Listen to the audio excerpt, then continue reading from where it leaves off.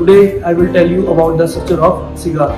Cigar is made up of three parts. The inner part uh, of cigar is known as filler and the filler is uh, uh, binded with the binder and wrapped with the wrapper.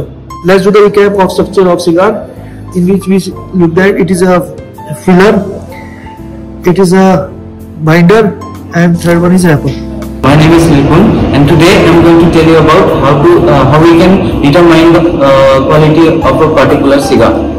First of all, you have to see the appearance. The uh, cigar should not contain any spots or hole in it on the surface of it. If it contains any holes or any spots, I recommend not to buy that particular cigar. Second parameter is by twirling the cigar, you have to uh, bring it near to your ear and twirl it. You can hear the crisp sound.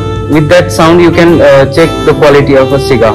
At last, we can check the quality of a cigar by uh, by the color of its ash, and uh, the darker its color, the quality is superior.